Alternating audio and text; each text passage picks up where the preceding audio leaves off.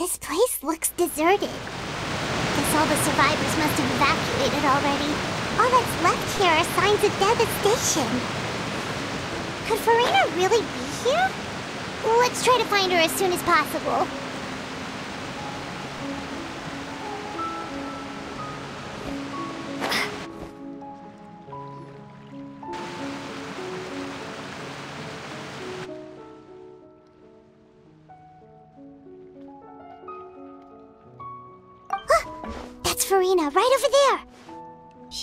Is here all on her own.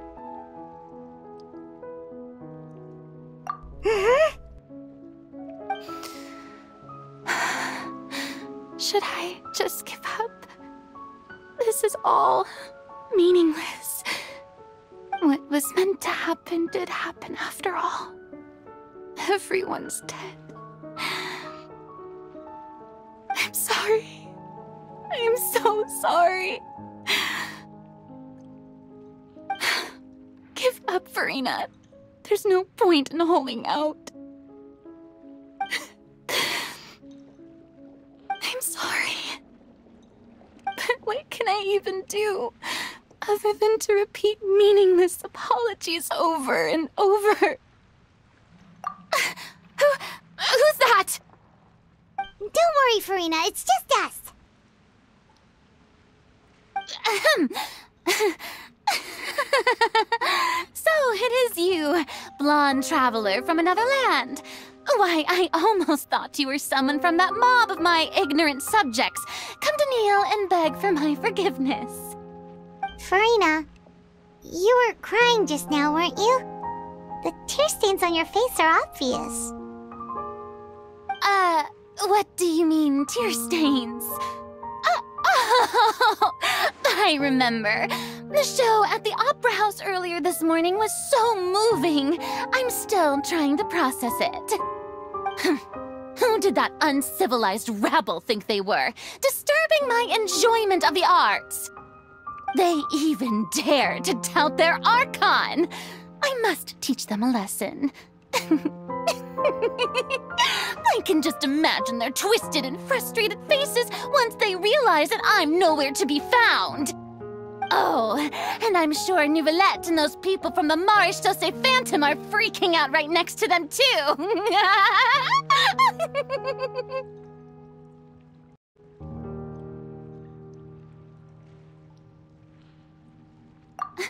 I. Uh, of course not! Hey, there she is! The Hydro Archon's over there! Quick, after her! Uh, Furina, those people seem to be after you. Th they are. They're just some rabid fans who want to cut the line because they haven't been able to meet me in person, aren't they? Hmm, that's against the rules. I can't let them get their way. Ah, Furina just ran off. Quick, we have to catch up with her.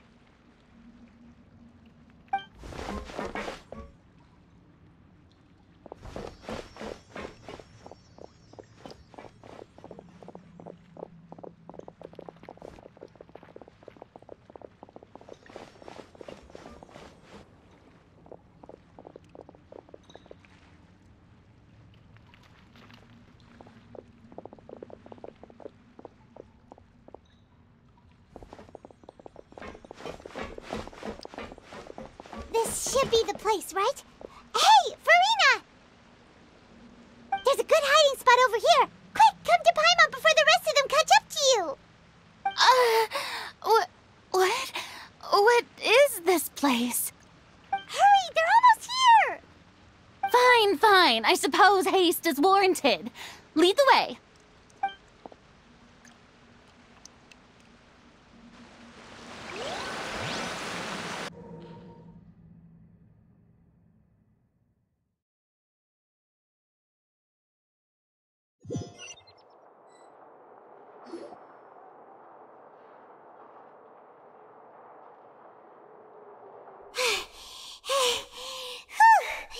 Paimon's exhausted.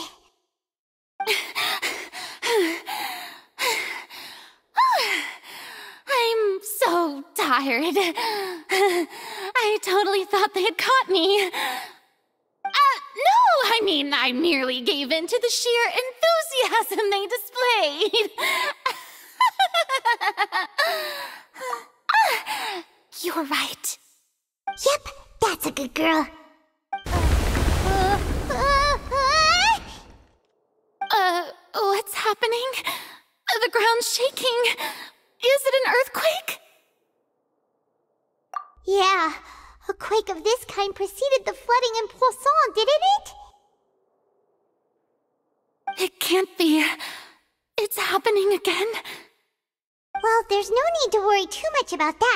Neuvillette made some emergency plans, so the evacuation should go a lot smoother this time. Yeah, I hope you're right. But the people of Poisson, they've already...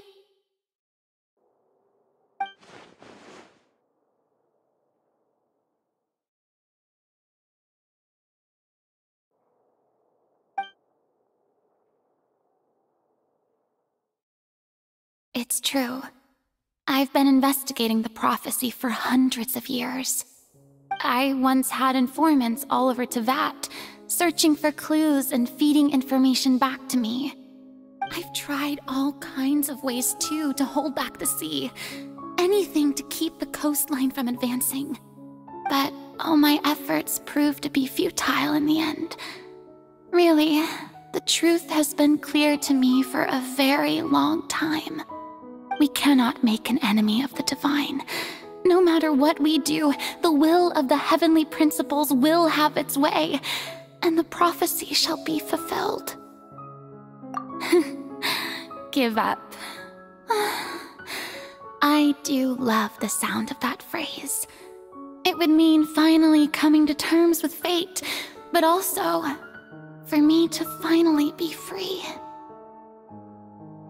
Indeed. I've thought about giving up so many times, especially after we almost lost Poisson. Fate is really unreasonable, isn't it? It has no heart and obeys no rules.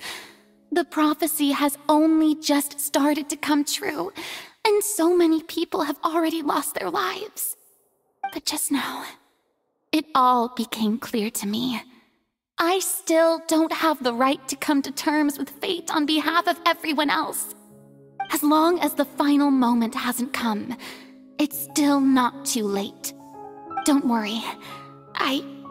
I will keep hope alive for everyone until the very end. well, that's enough for now. I got the impulse to play the stricken maiden, but honestly, considering my rank and station, that wasn't a good fit at all. Don't take any of what I just said seriously. How could I possibly let Fontaine fall to the whims of trivial prophecy? Come on! Paimon could have sworn you were actually being honest just now.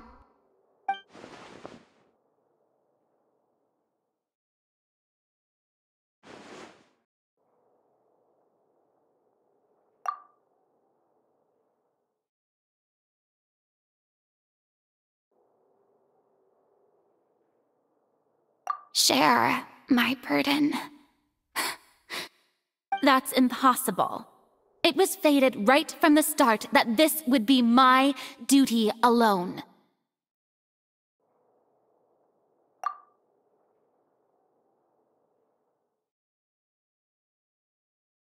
A witness. Ah, yes, I've heard that you came to Teyvat from beyond the stars, yes.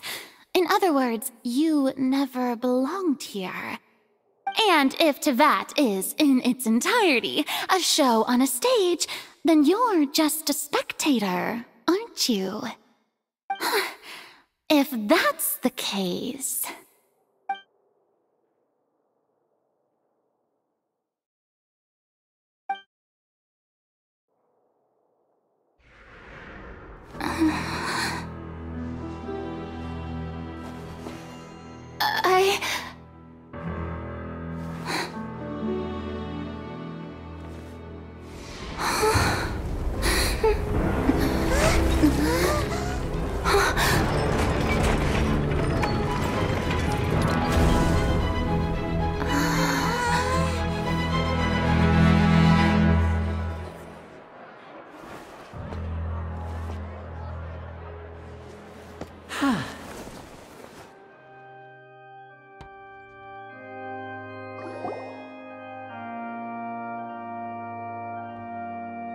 Ladies and gentlemen, this concludes my opening performance.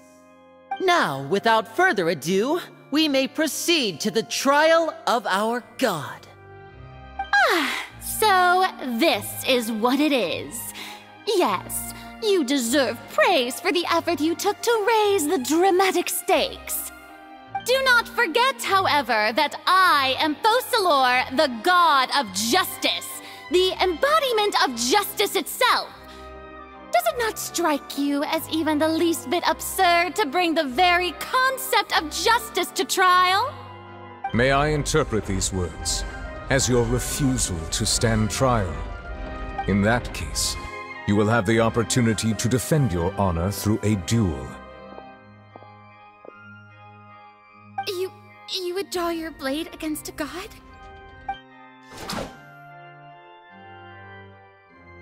Ahem. I see. It seems like you have made up your mind.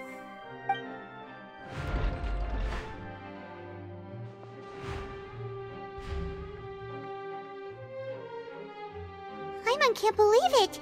She... she just surrendered! Hmm. What the heck is going on? Did I just see an Archon surrender to a, a human? Wow, how utterly humiliating. Lady Furina, what is the meaning of this? Uh, shh. It would seem that there has been a misunderstanding. To be clear, the raising of both hands is not always an indication of surrender. Looking for excuses again, huh? I raised my hands just now to indicate my acceptance of the trial. No duel shall be necessary. I will admit that I've been running away for a long time. I'm sorry, everyone. I was unable to protect the people of Poisson. It is my duty to stand trial for my crimes. You are not the only ones to be disappointed in me. I, too, am exceedingly disappointed in myself. but now, it is time for the Hydro Archon to show you her courage and resolve. I, Furina, will use this trial to show the world the true meaning of justice! This time, I will protect you. Applaud and rejoice! One of the most outrageous and fantastical arcs known to the opera epiclese is now unfolding before your eyes. Mark my words, this shall be one of the most exhilarating and brilliant shows ever to grace the stage of Fontaine! The trial of the Hydro Archon, Focalors, will now begin! Making history! Why does it feel like Furina just took over the whole thing? Like, come on! Didn't she just get forced to stand trial for her crimes? Also, even though she's still acting super dramatic, she is taking this seriously this time, right? All right, then. Who will be my opponent in this trial? The court asks the prosecutor to please take the stand.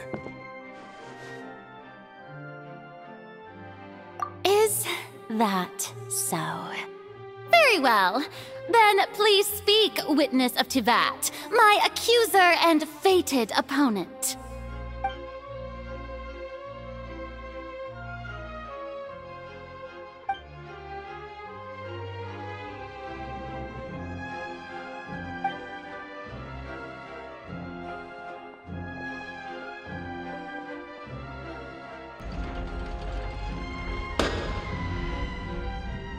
Also, please allow me to ask, as a final question before the trial begins.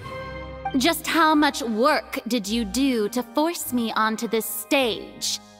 Well, we did do a lot of prep after the meeting that day.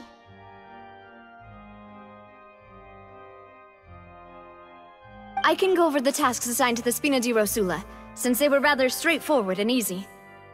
Navia, the president of the Spina di Rosula. Most of the people who participated in the disturbance this morning were my subordinates. They changed into plain clothes and came to the Opera House as regular audience members, waiting for the perfect opportunity to incite insurrection against you. The people's resentment against their Archon has been building as more and more of the prophecy is fulfilled. A spark was all we needed to turn smoldering anger into a flame. Moreover, according to our understanding and analysis of you, when something like that occurred, you would likely flee the scene and head to Poisson by yourself. So, we arranged for a second group to lie in wait there. So, you mean... The ones who scoured the settlement for me were also from the Spina.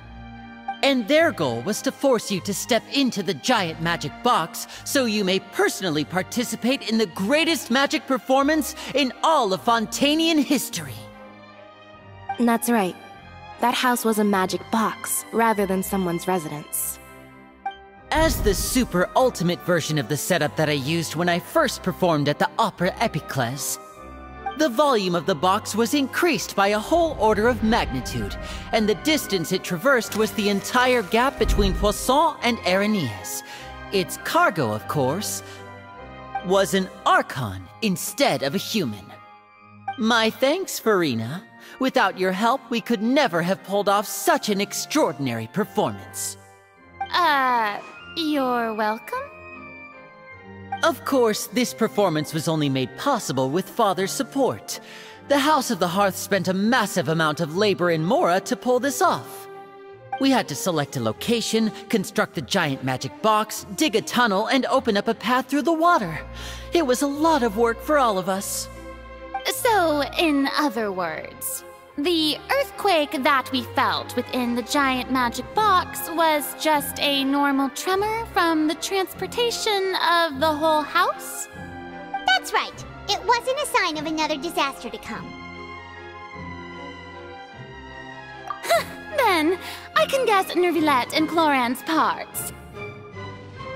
You gathered a crowd, prepared a stage, and made sure that the champion duelist would be immediately ready for a fight. Also that as soon as I appeared on the stage, the trial may commence without a hitch. Am I right? Yes, that is correct. Well, Clorinde, I must commend you for your courage. Only the most outstanding champion duelist in all of Fontaine would accept a duel with an Archon without flinching. Hmm. Thank you. As for you, Traveler, I suppose your role was to keep me distracted with conversation once you found me in Poisson. You'd make sure that I didn't notice anything amiss before revealing yourself as my prosecutor once we'd arrived onto the stage. Oh?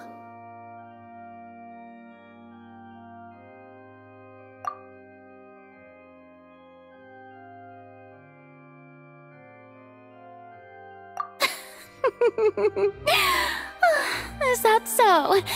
Then I suppose I must have missed my final chance. it's fine. It matters not. What's done is done. The stage is already set, so there's no reason to disappoint the audience.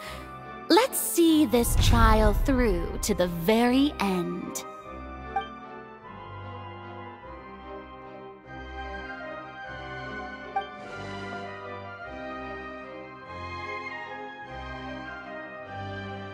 Madam Prosecutor, please allow me to pass this along. This is a document that Miss Charlotte applied for and received permission to share with you during the trial. According to her, it should speed up the proceedings. Huh? Charlotte wanted to give us something? Oh, so she's here too! Hey, Charlotte! Oh, let. Uh, isn't this the exclusive interview that she did with us before? So she's already finished it, huh? Oh, wait, then that means this document is a perfect timeline of everything that's happened ever since we stepped foot in Fontaine! So in other words, we can refer to this anthology of evidence every time we want to use something from our journey as evidence for an argument! Let's quickly confirm the information in it. Just think of it as a refresher, alright? You defeated the Hydro Archon in the very first duels you took part in at the Opera House. That's one for the history books, all right. I didn't think that you'd wind up getting to the bottom of the case I'd been following all this time. I guess you could also see this as a happy coincidence. This is the first time Monsieur Neuvillette had a difference of opinion with the Oratrice. Even the Hydro Archon can't figure it out. A Fatui Harbinger. She's an extraordinary person. Her instinct must mean something. The fortress of Meropide was almost destroyed in a single day. That I didn't witness that scene personally will always be a source of professional regret, I think. According to Monsieur Neuvillette, both child and that whale should have been in the primordial sea at that time. I nearly lost my awesome friend Navia. To be honest, that still gives me shivers. The words of someone as extraordinary as a witch can probably only be truly understood when something surreal happens to you.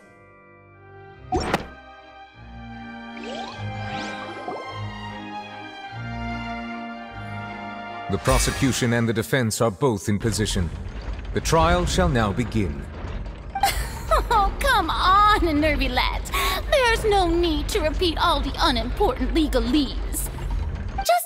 Forward to the part where the prosecution lays out my offenses. As the defendant and the lead actress of this performance, I still haven't even been informed of my supposed guilt in all of this. Of course, it is only natural for humans to struggle to understand the actions of a god. However, you will need more than that to convict me of a crime. That's true, but my charge here is unrelated to your conduct as an Archon. Instead, I would like to charge you as a fraud who's never been the Archon in the first place. Wait, what was that? Lady Furina's a fraud? Hey, I came here thinking that we were going to try the Hydro Archon for forsaking her duty, but did I hear that right? She's not our Archon at all? Charge accepted. Lady Furina, do you plead guilty to the charge?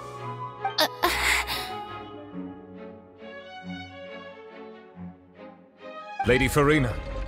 I plead not guilty. How can I be guilty? There is no way that I, Focalors, otherwise known as Furina de Fontaine, a member of the Seven and the Regina of all waters, kindreds, peoples, and laws of Fontaine, could be anything other than your true Archon. Yeah. Even though Lady Furina can be rather eccentric, isn't it going too far to doubt her very identity? Yeah, I've never questioned her identity either. Sure, Lady Furina can be super irresponsible, but but what grounds does that prosecutor have to make such a huge claim? I have cause to believe that common sense will prevail in this case.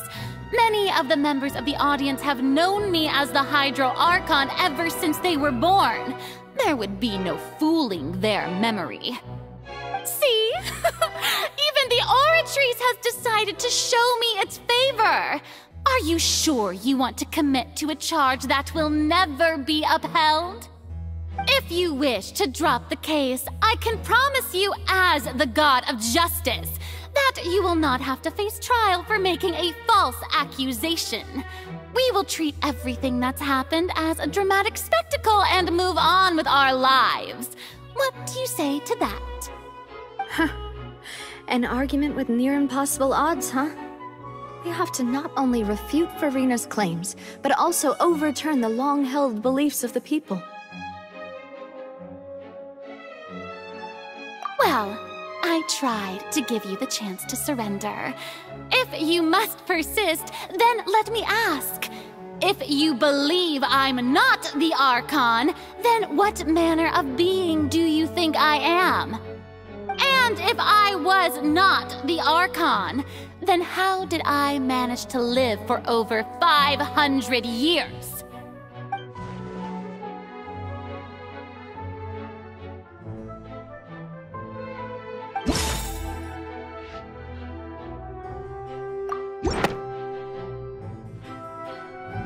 Hmm, that doesn't sound right. Paimon doesn't think this clue can be used as compelling evidence to build our case.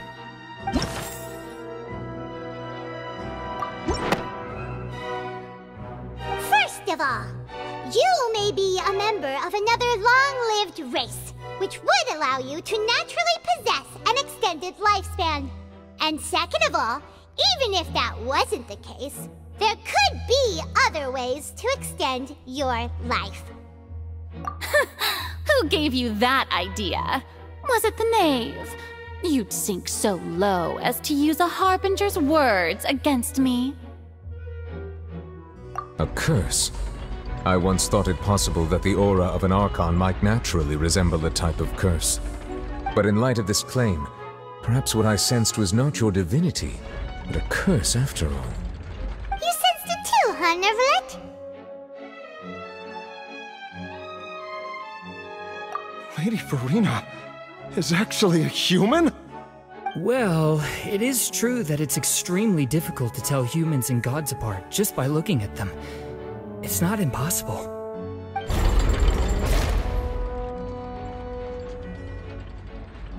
Well, uh, don't start celebrating too early now. Even if I have been carrying a curse like you said, how does that prove that I am merely a human being?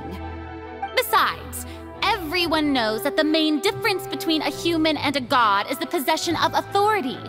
Gods can do what humans cannot. That's why they're worshipped as gods.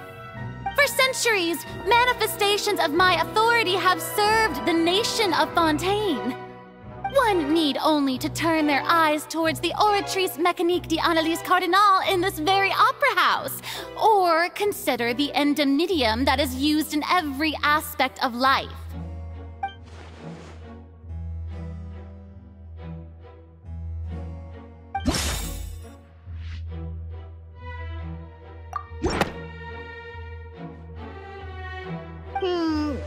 Doesn't sound right.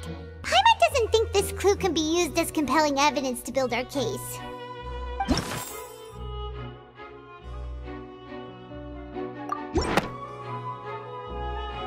You tried to reference the Oratrice. But weren't you as confused as all the rest of us when the Oratrice declared Child to be guilty without any proof? Otherwise, you should have come up with a good explanation for that by now. Didn't I make myself clear at the time? The decisions of the gods are naturally difficult for humans to comprehend. There is no need to provide an explanation. Lady Furina, I believe a reminder of your current circumstances is in order. While the court is in session, the principles of justice and the law must come before all else. While you are an Archon, you are also first and foremost the defendant in this trial. You will prove yourself unable to defend against the prosecution's charges if you continue to withhold vital information against the rules of the court. I never thought you'd use that kind of rhetoric against me. That was no trick of rhetoric, Lady Furina. I've merely reiterated the rules of the court. Rules that all should respect and follow. Why child was declared guilty, nor did you understand the structure and operations of the Oratrice. Instead of having been created by you, the manifestations of authority you mentioned have been made by the real Hydro Archon, haven't they? The real Hydro Archon? Well, now you're really losing me. It is true that I did not know why the Oratrice gave out a guilty verdict that day. But the Oratrice handed out that verdict unilaterally, and it has been operating independently ever since it was first created. You can't. You can't argue that just because a divine creation is flawed, that the god behind it must also be no god at all. Ah, she's still throwing out all kinds of excuses. Seems like she's confident that we won't be able to produce proof that she has no power over the Oratrice. My power as an Archon. There are many ordinary citizens in the audience. How can I just carelessly demonstrate the formidable power of an Archon? If that poses a concern, I'm prepared to extend my protection to the audience. Um, you, you don't need to go that far. I, uh... Aren't you the Hydro Archon? Or is it that you can't even wield the power of Hydro, much less the authority of a god? Indemnitium! Yes! It's all because of Indemnitium! All Archons derive their power from the faith of the people, and I've converted the people's faith in justice into Indemnitium! Thus did I give up all of my divine power to provide everyone with energy for their daily lives. Have you ever seen a more magnanimous god? Isn't that a huge stretch? Yeah, no matter how generous an Archon can be, how could they give up all their power? Can a god with no power even still be called a god?